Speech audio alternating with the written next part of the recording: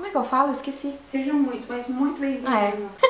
E aí pessoal, eu sou a Mari Ramos e sejam muito, mas muito bem-vindos ao meu canal, viu? Sinceramente, eu não sei como eu vou falar dessa saga aqui pra vocês, que ela mexe tanto comigo, que eu não sei como é que vai ser. É uma responsabilidade muito grande falar sobre a Corte de Espinhos e Rosas, ou como é mais conhecida, a Cotar. Mas vamos lá. Eu quero ressaltar aqui nesse vídeo que eu vou falar sobre a minha experiência lendo essa saga e sobre o meu ponto de vista. Porque eu sei que essa saga, ela divide muitas opiniões, é uma saga muito polêmica, assim como todas elas, né, são polêmicas. Tem gente que gosta ou não gosta. Mas eu sei que existe muita discussão em cima dessa saga, principalmente no Twitter, no book Twitter. Mas que fique bem claro isso, é a minha opinião e a minha relação com a saga. Inclusive, se vocês quiserem que eu grave um vídeo sobre cada livro contando minha reação aos acontecimentos, deixe aqui nos comentários pra eu saber, eu posso gravar esses vídeos pra vocês. Porque nesse vídeo de hoje não vai ter spoiler, não vai ter nada muito aprofundado nos livros, é só minha relação mesmo com essa saga e mostrar pra vocês um pouco, um resumão do que, que se trata essa saga tão comentada e tudo mais. Hoje a gente vai falar de A Corte de Espinhos e Rosas, da Sarah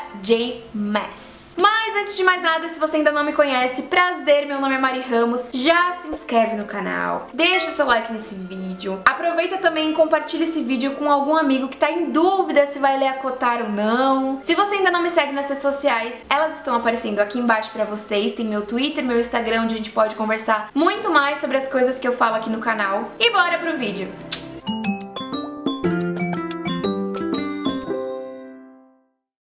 Janet Maas é uma escritora americana de fantasia. Suas obras alcançaram o patamar de best-seller no The New York Times e no USA Today. A estreia na literatura foi com a saga Trono de Vidro. Essa é uma das séries dela que também ficou super famosa eu espero que em breve eu possa falar dela aqui pra vocês. Mas hoje a gente vai falar sobre a Cotar. Pra começar, eu acho muito importante você saber a ordem, né, dos livros, porque eu sempre sou uma pessoa que fico muito perdida nesse, nesse quesito de saber a ordem certinha que tem que ler. Portanto, A Corte de Espinhos e Rosas é o primeiro livro, embora tenha aqui, né, número 1 um e tudo mais, mas né, só pra saber. A Corte de Espinhos e Rosas é o primeiro. A Corte de Névoa e Fúria é o segundo. A Corte de Asas e Ruína é o terceiro. E ainda, nossa querida autora fez questão de fazer um spin-off, que é mais pra você saber como que estão os personagens depois do terceiro livro, que é A Corte de Gelo e Estrelas. Vou dar um resumão do que, que se trata essa história. Primeiro, primeiro eu vou contar qual é a minha relação com esse livro. Eu entrei pro Book Twitter faz um pouco tempo, que é tipo um monte de gente que gosta de ler, que gosta de livros, falando no Twitter se comunicando no Twitter, indicando séries, indicando sagas, indicando livros diferentes. E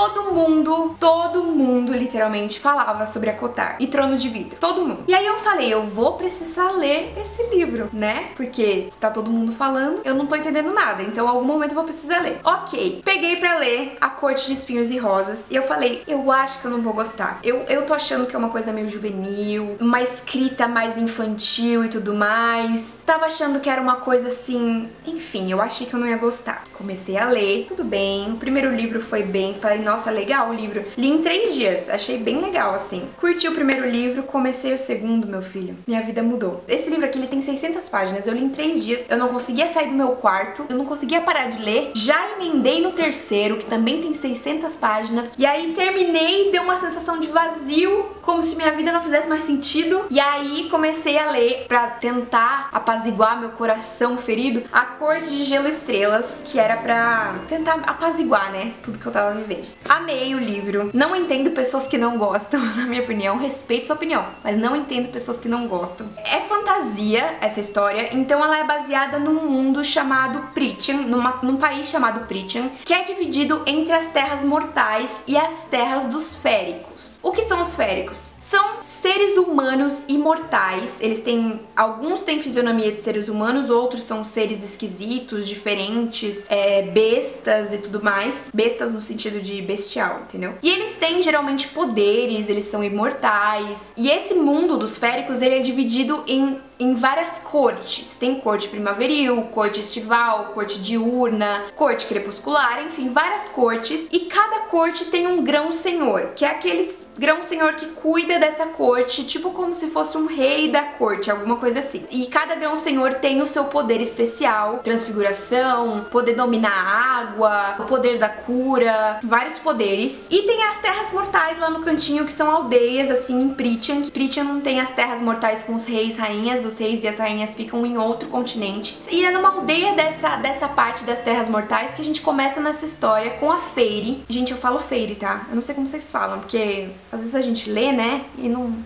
não sabe o nome dos, dos personagens, da a pronúncia dos personagens, mas eu falo Feire. A Feire, ela vai caçar nessa floresta. O pai dela, ele perdeu toda a fortuna da família quando a mãe dela morreu, depois que a mãe dela morreu. Ele também ficou inválido porque não foi só ele que perdeu dinheiro, foram muitas pessoas da aldeia e essas pessoas quiseram se vingar dele e acabaram arregaçando a perna dele, chutando, enfim, batendo nele. Ele não consegue sair para trabalhar ou para caçar. E as irmãs dela, elas meio que não ligam muito pra trabalho, essas coisas e pra sair caçar também. Elas são meio ladies, assim, porque elas cresceram numa época em que eles tinham muito dinheiro. Então, meio que o trabalho sobrou pra Feire. E aí ela vai até essa, essa floresta que é dividida por uma muralha. Essa muralha, ela basicamente serve pra separar os povos, pra separar os féricos dos humanos, porque os féricos são totalmente mortais pros humanos. Alguns féricos caçam os humanos, matam humanos. Então essa muralha foi construída depois de uma guerra justamente pra separar os povos. Então a Feire, ela tá caçando como um dia normal e ela avista um cervo. Atrás do cervo, ela enxerga um lobo. Um lobo com olhos dourados e tudo mais. E ela fica pensando, será que isso é um férico? Porque tem muitos féricos que ultrapassam a muralha, é, escondido e tudo mais, mas isso seria uma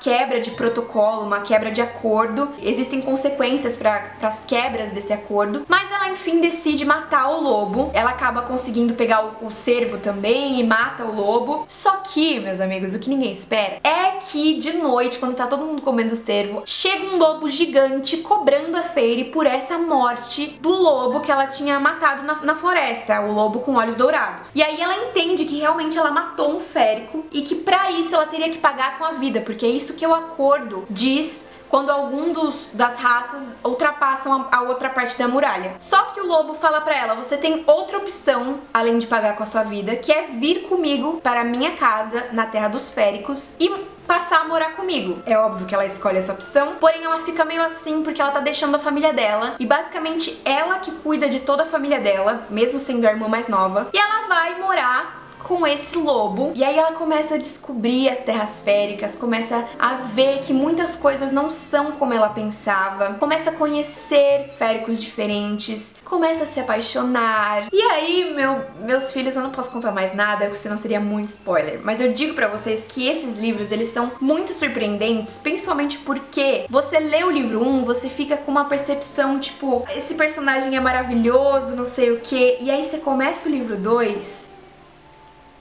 muda totalmente sua percepção. Quem você gostava, você não gosta mais. Quem você não gostava, você passa amar. E eu gosto muito do desenrolar do livro. Eu não acho um livro mal estruturado. No começo eu ficava achando algumas coisas desconexas e algumas coisas sem explicação, mas conforme eu fui lendo o livro, eu fui entendendo melhor, eu fui me aprofundando mais na história e entendendo melhor. Mas eu falo para vocês que é um livro que faz você sentir as coisas, tipo como se você estivesse realmente realmente vivendo aquela história. E é muito legal como fala de amor, de família, de situações tipo políticas, sabe, dentro do do, país em que eles vivem, dentro do mundo em que eles vivem, como fala de guerra. Gente, eu gostei muito do livro, assim, não achei nada infantil, nada juvenil, inclusive nada infantil mesmo, porque tem uns hots nesse livro. E é isso, gente, essa é história. Eu não quero me aprofundar muito porque eu não quero dar spoiler, né? Mas é só pra deixar um gostinho assim em vocês. E sim, a história lembra um pouco a Bela e a Fera, tipo, ele é, é meio esse conceito assim do primeiro livro, mas só do primeiro livro, eu quero deixar bem claro. Se você já leu os, os, os livros e tá pensando pensando, ah, será que eu leio esse spin-off, esse quarto?